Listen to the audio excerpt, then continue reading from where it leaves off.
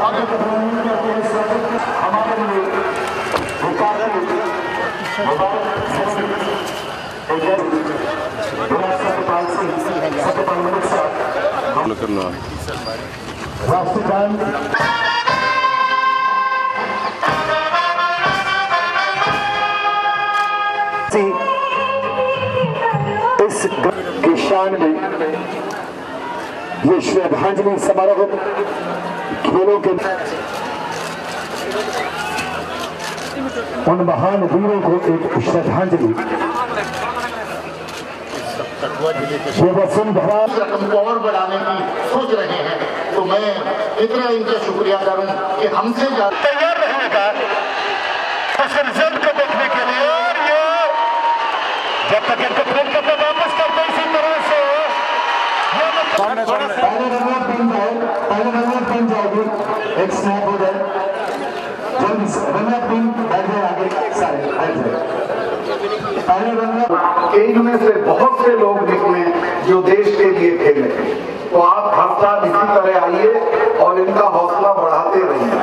आपको एक खुशखबरी दे दूँ, जम्मू कश्मीर की फुटबॉल टीम ने चार दिन पहले देश की नंबर एक की फुटबॉल टीम मोहन बगान को दो एक से हराया और इस तरह से हराया कि मोहन बगान के कोच को उसी दिन इस्तीफा देना पड़ा इतनी शानदार टीम आपकी और पिछले दस साल में उस टीम के मैच देखने के लिए श्रीनगर के स्टेडियम में 27, 28, तीस हज़ार की भीड़ बच्चों की जुटी जो 12, 15 साल में श्रीनगर में नहीं देखी थी। इतना बड़ा परिवर्तन हो रहा ईमानदारी के साथ कहता हूँ कि मैं जब से आया हूँ, मैंने समझने की कोशिश की है, जम्मू कश्मीर के सारे मसलों का हल इन्हीं नौजवानों के पास है। ये तेरह से तीस साल के जो बच्चे हैं, सब इनके पास है। अगर इनका यकीन हम लोग जीत लेंगे, अगर इनका भविष्य का रास्ता खोल देंगे, अगर इनको खेलना छह बजे के बाद बेचारों के पास करने को कुछ नहीं होता है श्रीनगर में तो दस साल से बच्चों ने सिनेमा नहीं देखा है। अभी मैंने एक सिनेमा घर की नींव रखवाई। इन लोगों के लिए मैंने हर डिस्ट्रिक्ट कमिश्नर को कहा कि एक टुकड़ा अपने यहाँ हर गाँव पंचायत में एक टुकड़ा आइडेंटिफाई करके बच्चों को दे दो। जो वो खेलना चाहे, वो खेल सके, वो खेलें। करीब 500 छोटे स्टेडियम बना रहे हैं। Indoor stadium prime minister fund से बन रहे हैं। चार इंटरनेशनल स्टेडियम दो जम्मू में, दो श्रीनगर में बन रहे हैं। और अगर वो आईपीएल के लोगों ने उनको पास कर दिया तो मैं आपको यकीन दिलाता हूँ कि जम्मू और श्रीनगर में आईपीएल का मैच होगा। और वो क्यों होगा? उसकी क्यों ज़रूरत है? श्रीनगर का एक बच्चा आईपीएल में सेलेक्ट हो गया। बीस हज़ार लोग उसके घर पे मुबारकबाद देने के लिए गए थे। इतनी बड़ी ताकत है खेल की तो हमको अपने बच्चों को खेल में ज़्यादा से ज़्यादा सहयोग करना है अब मैं लौटना चाहता हूँ जिनको मैंने किया है इनकी तरफ़ कि हम सब तो आराम से सोते हैं। अपने घरों में कोई दिक्कत नहीं होती है। दिन भी हमारे अच्छे करते हैं कटते हैं हमारी माओ के, बहनों के। लेकिन कभी कल्पना किया करें आप, पुलिस की आलोचना तो बहुत करते हो।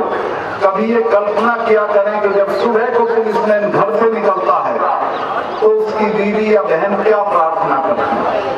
वो उसकी दिन भर की की प्रार्थना करती। है और जब वो शाम को वापस जाता है, तब वो ईश्वर का शुक्रिया अदा करती है। क्योंकि इस तरह के हालात हमारे प्रदेश में हैं। इसमें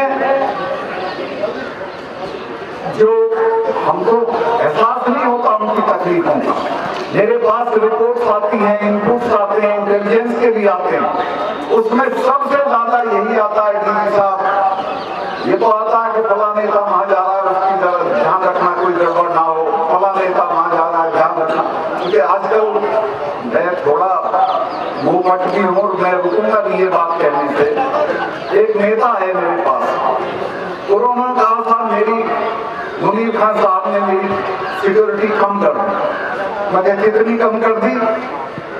के साथ चौदह थे मेरे पास। मैं कहा, अब कितने हैं कि अब चार रह गए हैं?